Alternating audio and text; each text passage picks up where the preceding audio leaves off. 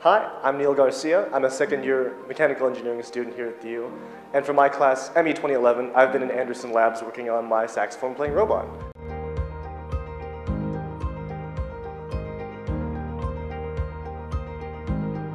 I'm a member of the University of Minnesota Marching Band, and I was inspired by another member of the marching band that made a conducting robot last year.